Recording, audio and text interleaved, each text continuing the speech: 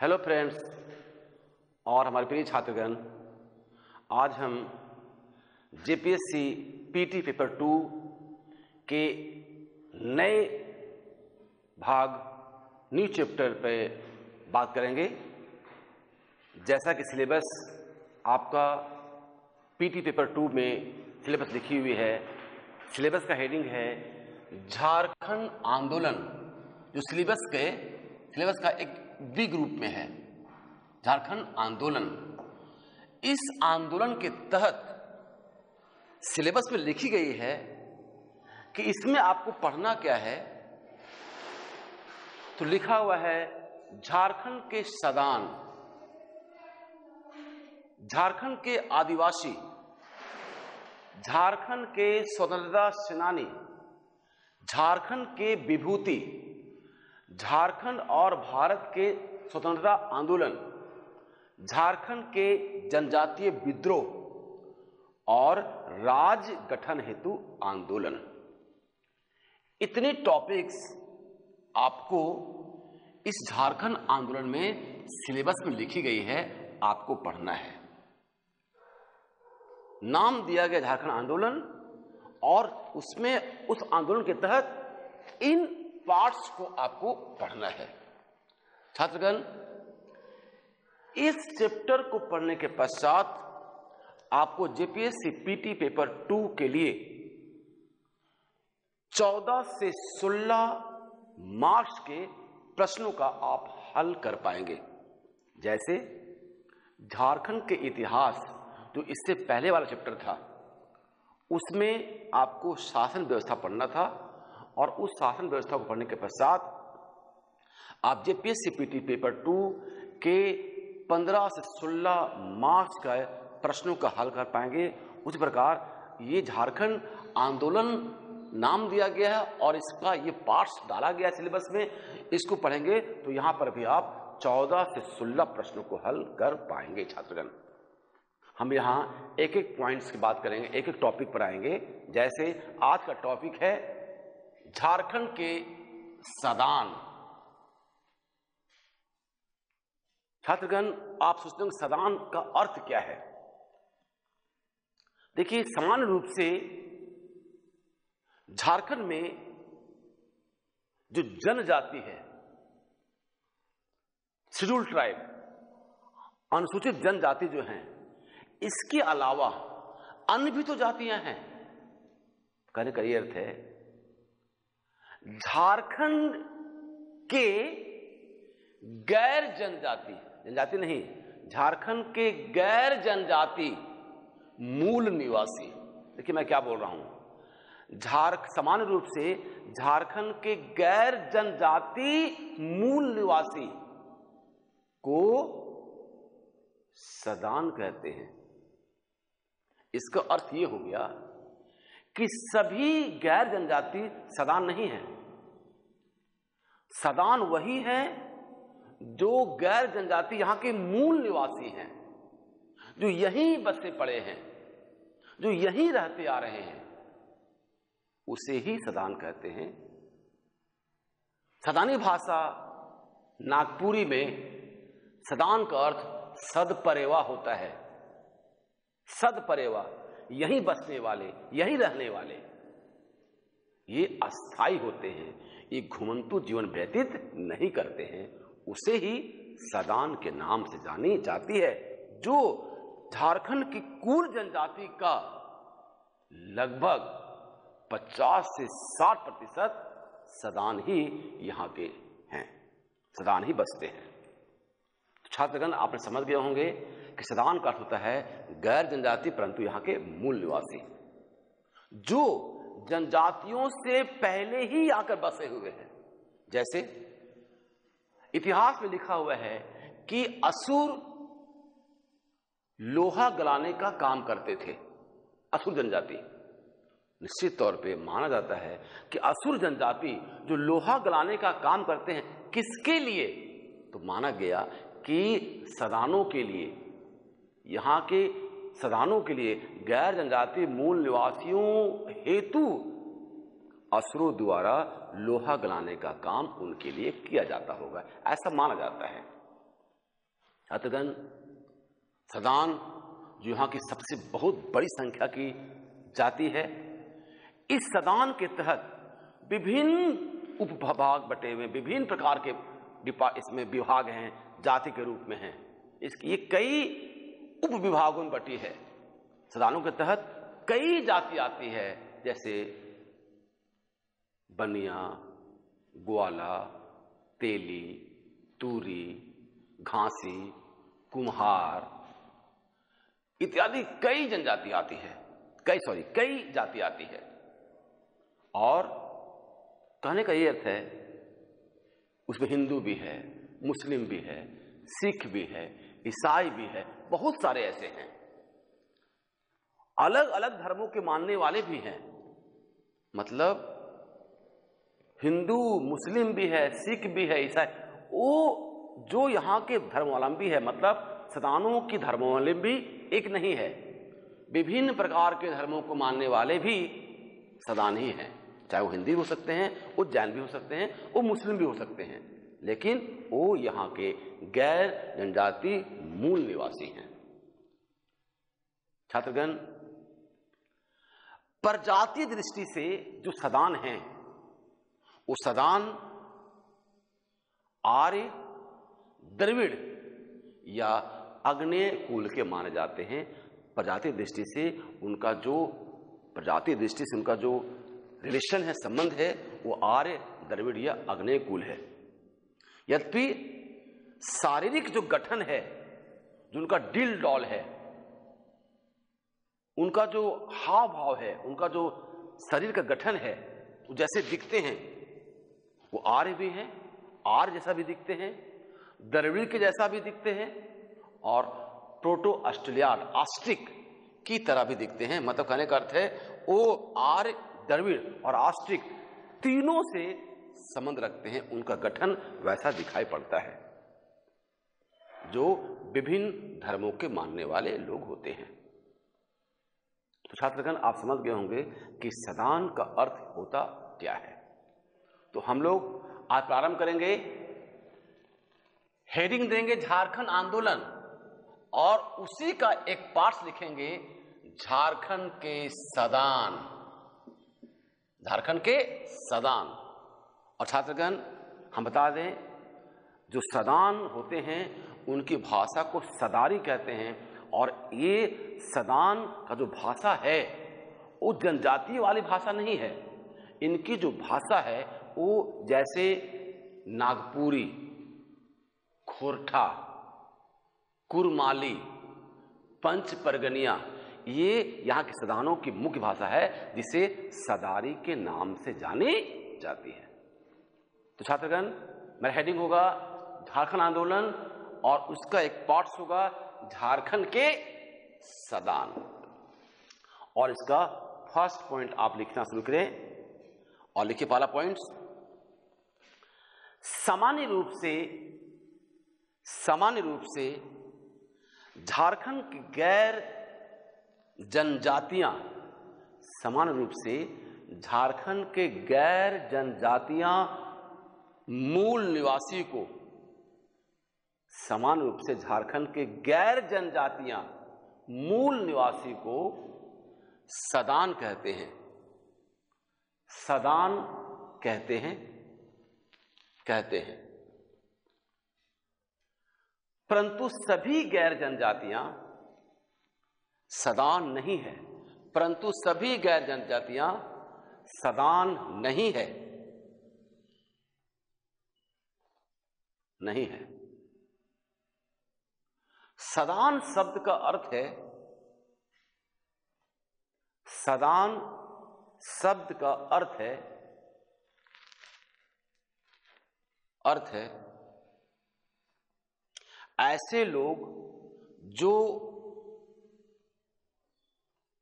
ऐसे लोग जो यहाँ बैठे हुए थे, ऐसे लोग जो यहाँ बैठे हुए थे या बसे हुए थे, ऐसे लोग जो यहाँ बैठे हुए थे या बसे हुए थे।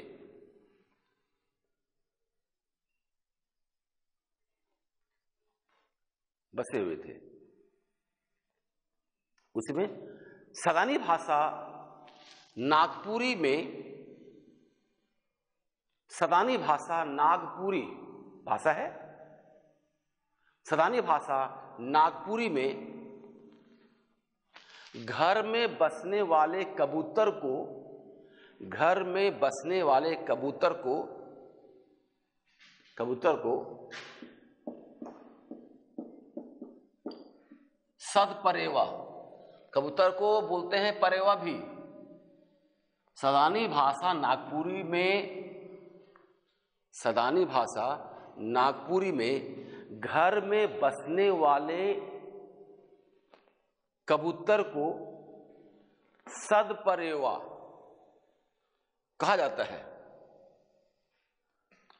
कहा जाता है, अर्थात सदानी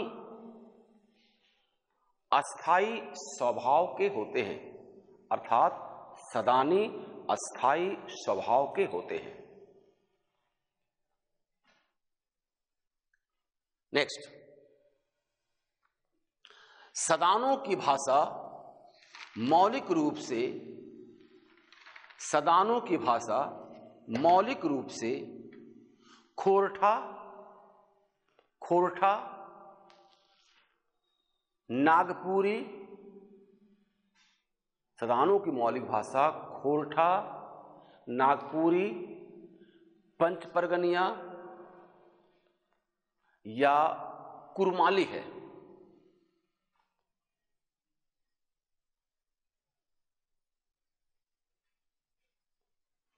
कुरमाली है।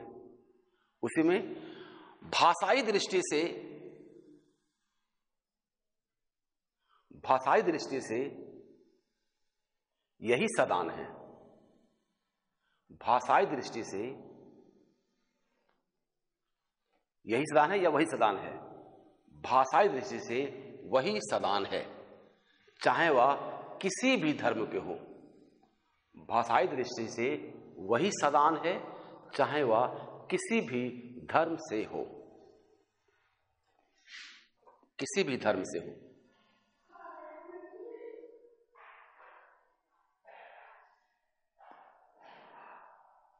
और इनकी भाषा को सदानी या सदारी और इनकी भाषा को सदानी या सादरी बोल सकते हैं और इनकी भाषा को सदानी या सादरी कहते हैं। सादरी।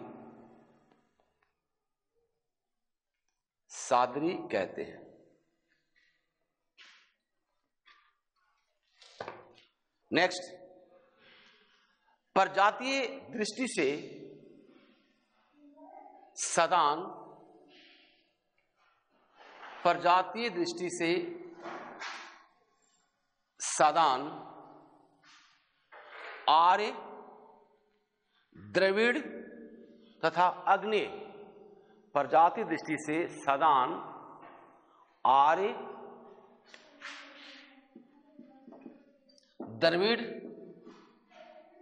और अग्नि। प्रजाति दृष्टि से सदान आर्य द्रविड़ तथा अग्नि, कुल। अग्नेय कुल, अर्थात तीनों वर्गों से संबंधित हैं। अर्थात तीनों वर्गों से संबंधित हैं। जबकि सदानों के शारीरिक गठन में जबकि सदानों के शारीरिक गठन में गठन में आर्य, द्रविड़ तथा आस्ट्रिक आर्य, द्रविड़ तथा आस्ट्रिक तीनों में या तीनों के लक्षण दिखलाई पड़ते हैं। तीनों के लक्षण दिखलाई पड़ते हैं। अर्थात, इनका रंग गोरा, सांवला, तथा काला, तीनों प्रकार का है।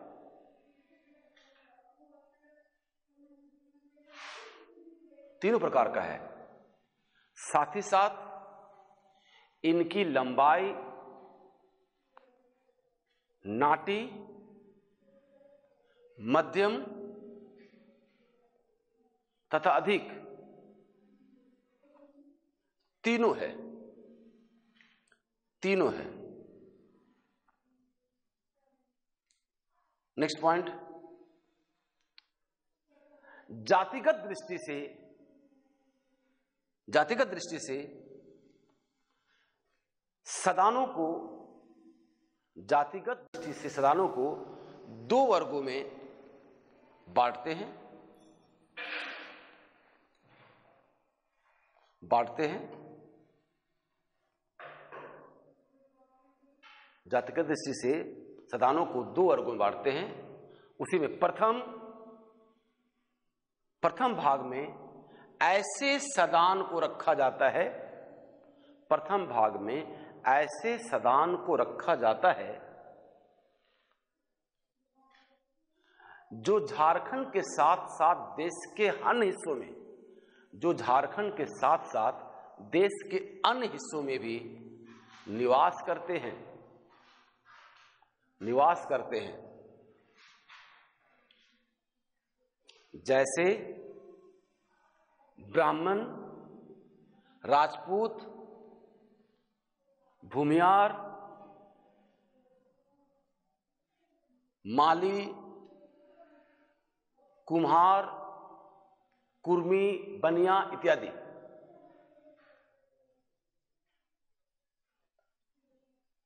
इत्यादि।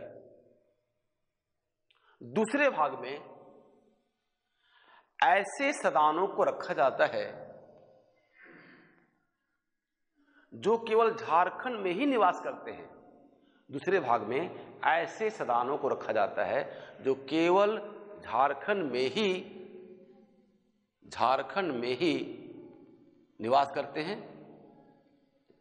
जैसे बड़ाइक बड़ाइक देसावली भुइया, पान, भुइया पान सब अलग अलग जाती है। रौतिया रौतिया धानु गोड़ाइत लोहड़िया पाइक तांत्रिक परमानिक ये अलग अलग सदान हैं। प्रमाणिक इत्यादि। इत्यादि। नेक्स्ट पॉइंट इतिहास के अनुसार असुर जनजाति इतिहास के अनुसार असुर जनजाति से पहले, असुर जनजाति से पहले यहाँ एक सभ्य सभ्य प्रजाति थी।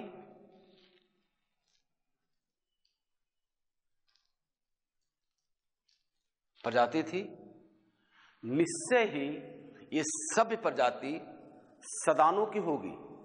निश्चय ही ये सभ्य प्रजाति सदानों की होगी। जो यहाँ के मूल वासी थे, जो यहाँ के मूल वासी थे।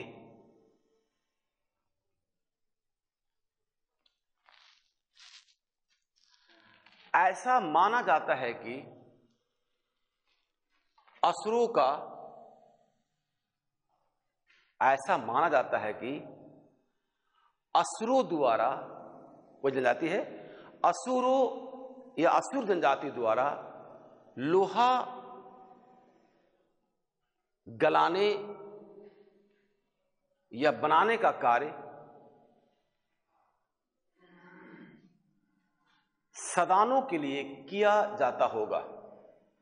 लोहा गलाने या बनाने का कार्य सदानों के लिए किया जाता होगा। किया जाता होगा। नेक्स्ट पॉइंट सदानों का धर्म एक जैसा नहीं है। सदानों का धर्म एक जैसा नहीं है। इनमें हिंदू, मुस्लिम, बौद्ध,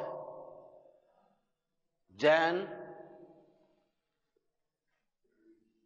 एवं अन्य धर्म के लोग शामिल हैं।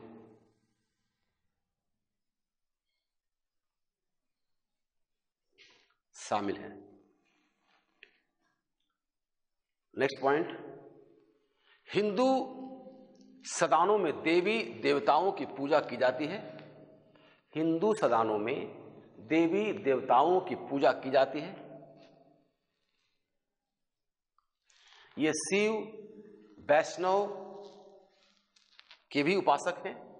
ये शिव, वैष्णव के भी उपासक हैं।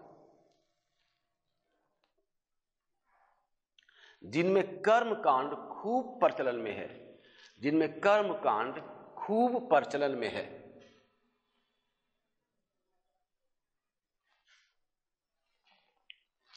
प्रचलन में है। अधिकांश हिंदू सदान शिव के उपासक हैं। अधिकांश हिंदू सदान शिव के उपासक है। उपासक है। नेक्स्ट पॉइंट कुछ सदान जैन धर्म से प्रभावित हैं। कुछ सदान जैन धर्म से प्रभावित हैं। जो सूर्यास्त के पश्चात भोजन नहीं करते। कुछ सदान।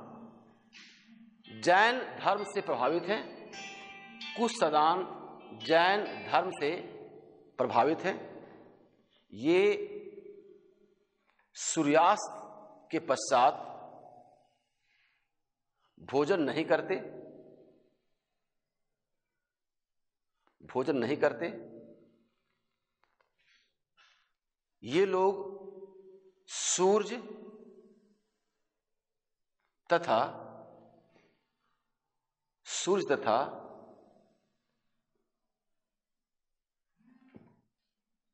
मनसा के उपासक हैं, मनसा देवी। इस सूर्य तथा मनसा के उपासक हैं। उपासक है। नेक्स्ट पॉइंट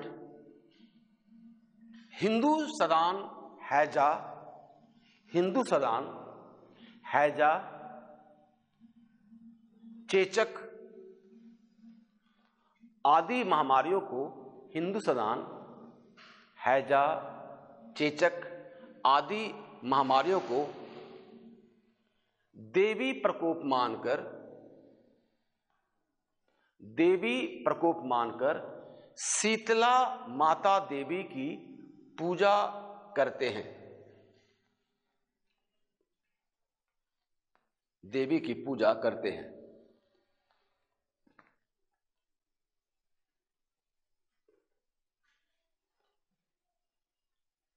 नेक्स्ट पॉइंट समान रूप से सदानों का मुख्य पेशा कृषि है। कृषि है।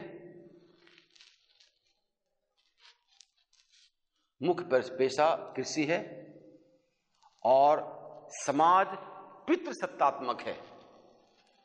और समाज पितृ सत्तात्मक है।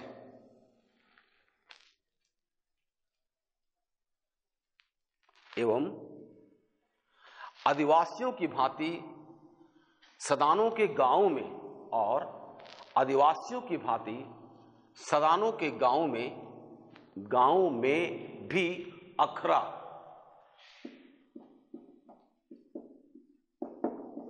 गाँव में भी अखरा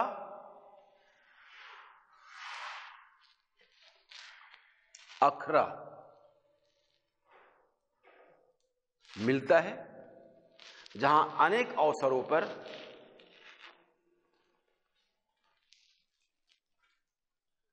अनेक अवसरों पर नृत्य का आयोजन होता है। नृत्य का आयोजन होता है। होता है। नेक्स्ट सदान अनेक जातियों एवं उपजातियों में विभाजित हैं। सदान अनेक जातियों एवं उपजातियों में विभाजित हैं। जैसे बड़ाइक, पान, तांती, स्वासी भुइया घासी गोड़ाइत कांदू ग्वाला मलार सराक मोमीन जैसे बड़ाइक पान तांती स्वासी, भुइया, घासी, गोड़ाइत, कांदू, ग्वाला, तेली, मलार सराक मोमिन इत्यादि। इत्यादि। उसी में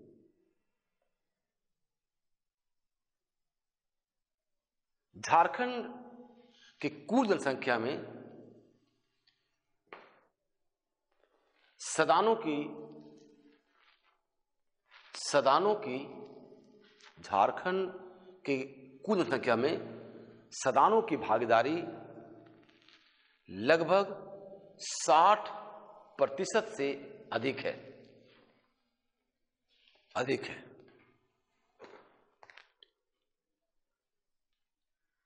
अधिक है।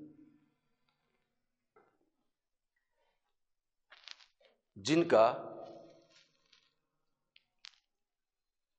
मुख्य त्यौहार होली, दिवाली, सोहराय इनका मुख्य त्यौहार, त्योहार होली, दिवाली, सोहराय, काली पूजा, दशहरा, छठ इत्यादि है। इसके अतिरिक्त इसके अतिरिक्त सरहुल सरहुल, कर्मा, तीज, जीतिया, वही द्वितीया, भी इनका मुख्य त्योहार है। मुख्य त्यौहार है। नेक्स्ट झारखंड के अनुसूचित जनजातियों में झारखंड के अनुसूचित जनजातियों में चिक बड़ाइक चिक बड़ाइक करमाली और किसान और किसान स्वयं को, और किसान स्वयं को सदान मानती है। स्वयं को सदान मानती है।